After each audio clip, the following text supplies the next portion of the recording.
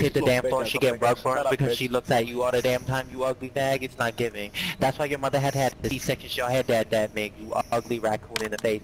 Shut your ugly nasty You get through a door because that's how fat you are, you nasty fat bitch. Get out my motherfucking